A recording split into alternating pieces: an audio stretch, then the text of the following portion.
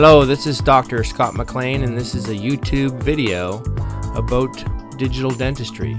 We'll be talking today about the digital impression and also the crown insertion. Our goal today is to make a full contour zirconia crown using a digital workflow. So we'll be making an ASC or an angulated screw channel crown which has a very high tensile strength. So uh, up to 1400 megapascals. So low chipping, great long-term solution for a patient in the molar region. You can see here what we're going to use is a special scan flag and these scan flags are called ELO scan bodies and this will be screwed on the implant and used to pick up a digital impression. So the patient's returning three months after surgery. They have a 5x5 healing abutment on. It's flared. We want to do the flaring. And we're going to start our first scan. So we'll be doing a series of at least four scans here.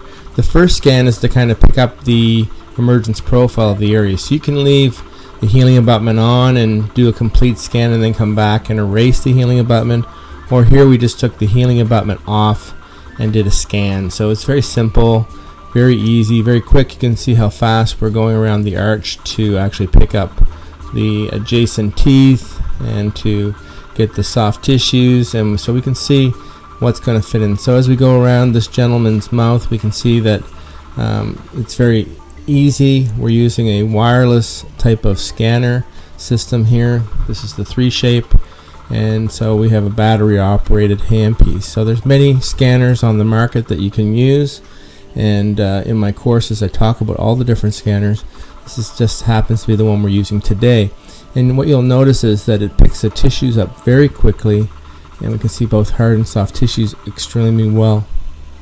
What you'll notice is that the uh, overhead light is actually on the patient's chest here. We could have it turned completely off but you don't want to have the overhead light uh, piercing into the patient's mouth at this time because the scanner itself has a light and that will kind of change the way that the scan is happening on the teeth. So you can see that we do not want to have all kinds of light in the oral cavity at the time of the scan.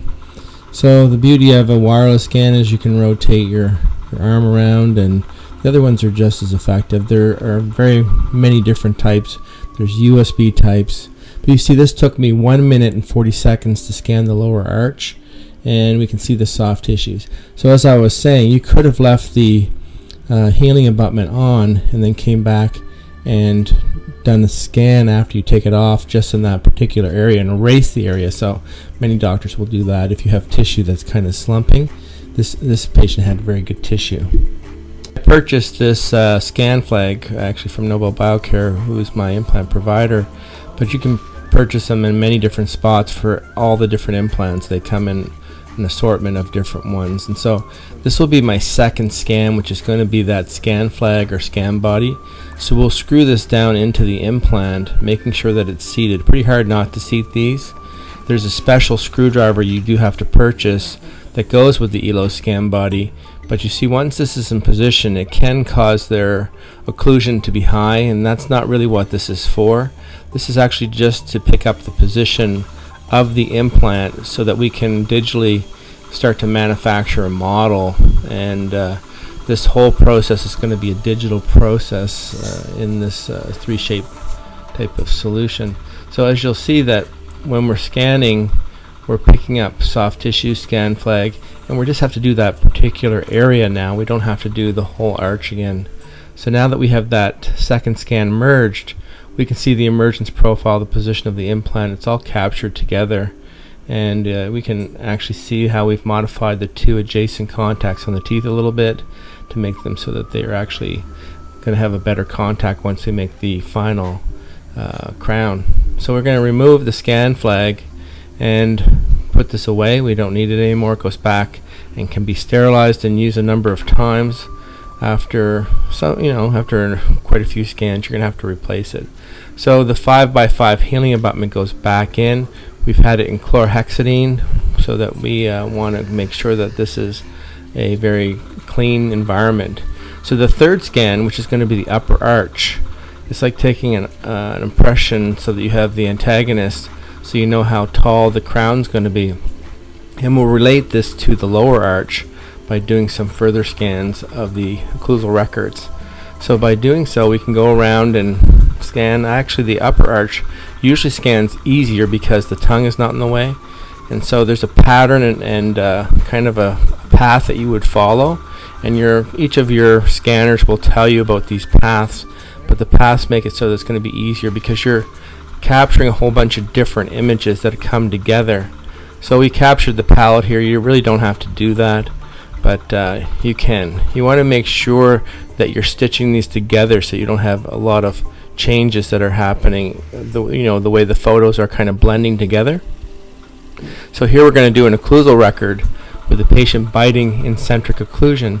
And we can see that as we do this, we're capturing the upper arch, to lower arch, and the computer will start to position these two scans together, which is important for the lab so that they can relate the, the two models. And you can see here it happens quite quickly. There's a little noise. So this alignment we do it on actually both sides just to make sure the alignment is good and that the lab has what they need to make the final crown. So we'll do the opposite side so we can relate them. In reality that first scan is usually enough to do that the relationship of the two models usually goes quite quick and uh, Sometimes if it's a deep bite you have to be kind of uh, moving the camera a little bit to make sure you can capture the two images together. But it relates them and so that's your kind of third scan. So the control button can be held on the wand or the scanning uh, device and you can actually move it around and check things. Or you can touch the screen meaning that the screen has to be disinfected. Here we're in Canada, you can see the 4-6, or I think that, I can't remember the American system for this, but lower first molar. And what you'll see is that the digital shade can be taken at this time. So we'll see that the crowns next to it are, are actually a D2 or a 4M1. We can see up, up, we can see C4 and 4R1.5. So it gives us an ability to kind of start to find the shade. It's usually a good reference point to to bring you in and I'll use the Vita usually and start to to it, they're generally I'm picking what the computer is picking.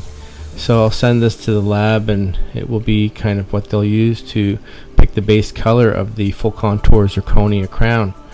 So you'll notice that the occlusion is all picked up on the opposing arch. We can see where everything is. We can also pick up the soft tissues. Now you can take it and cut some of the kind of uh, extraneous type of uh, soft tissues that are coming on the top on the side if you want to make it look nice but the relationship of the upper and lower model this is like mounting your models on an articulator. We don't have a face bow here but we can mount that in face bows if we're bringing in into other softwares like uh, DTX Studio. We can start to bring this in and mount it to the occlusal plane. The digital impressions get sent to a lab and they're going to start to fabricate and design this in a digital format. So you can see here Hallmark Dental Lab then was able to start to design the full contour zirconia crown. And here we can see the contour, the shade is not really represented by what's going on here, but what you'll notice is that they're able to tip the channel and tweak it. So it's slightly to the distal here. So we're going to tweak that and move it forward. So the dental technician will grab the handle and then move the channel to idealize it. And so we can put it wherever we want. And this is kind of nice to have a choice where that channel is going to be. So we're going to try to minimize food impaction by having the implant deep enough. And we did the placement of this implant digitally. And we can also have the screw channel tweaked to be perfect. So when this is uh, screwed together that the the patient will have a very excellent solution. So then the dental technician will send it to centralized milling and manufacturing because this uh, screw channel is going to be kind of milled on an angle. So and the solution for an angulated screw channel that I'm using is sent off to the centralized mill so once we get it back, we get this beautiful crown that has a titanium interface into the implant and zirconia. And the body loves those two materials, so they're both biocompatible, which means less inflammation in my mind. So the lab will tweak this. They may put a little bit of stain. They can actually add porcelain if they had to close contacts, but usually they come back perfect. We want to disinfect this crown. They're coming from a, a lab, so labs do not typically uh, sterilize a crown before it comes back. We're also going to use sterile Teflon and we need to have a OmniGrip driver with the OmniGrip screw, which is a special screw for this system. So you can see here I'm kind of pushing in on the screw and you can pull that out and it'll pick up the screw which is part of that particular system. So it's a nice uh, system for knowing where the screw is at all times. So the crown itself is full contour zirconia but the base can be snapped in place. There's no cement on this so it's actually just snapped in so you do not want to cement this in. The screw is going to be stretched that will hold this whole system together. And I've had excellent success with this. I don't see any problem with it coming off or breaking. I've had, I've done more than a thousand now and maybe one broke and it was on real heavy occlusion. So it's a very good result. Uh, it also tends to not really come loose because it's a milled structure that's going into a milled implant. So the base being titanium that's milled, when it fits down inside, will actually be um, you know kind of very precisely fitting because they're both milled on those centralized milling machines. So we're using the OmniGrip drivers to place this blue OmniGrip screw. What you'll notice is when I put this in, I want to hold the back of the torque driver. You can see it actually in the screw and can be held by itself. So this is a very good system for someone who's just new at putting implant crowns in. So I'm going to hold my thumb on the back of the driver and then on the teardrop of the torque wrench. And when I do this, I'm going to torque this down to 35 newtons and 35 newtons will stretch the screw, hold the zirconia down on top of the uh, titanium interface, the titanium connector it's called. And when this is seated into the implant, it locks into the conical connection. And so you get this kind of great kind of ability to seal that area. And so you can see I'll tighten it a couple times to make sure that that screw is stretched we don't want to over tighten it because the, the screw would fracture. So we have sterile Teflon here, so we put it through the sterilization process. And we're going to take this, keeping it dry, we want to put this into the uh, implant channel that's now in the center of the fossa because of the angulated screw channel. You'll see that I'll put a little bit of resin. Some people will enhance this by putting MDP or some other type of solution inside to cause the zirconia to etch or to bond better. Actually, more of it's a more of a bond, but um, I typically just would put in the resin and seal it off and light cure. Check the occlusion, of course, but uh, these are typically a really great solution because the the material itself is is not going to be an issue. But when we're putting the final crown in, it's been kind of digitally created and it's getting really super accurate. I, I, very rarely have to touch these when I put them in. Contacts are good. So you can see this is a modelless solution and uh, looks quite nice. You know, they had to put a little bit of stain on the zirconia. You can see how the resin has to be polished back a little tiny bit there, but in all, a very good solution.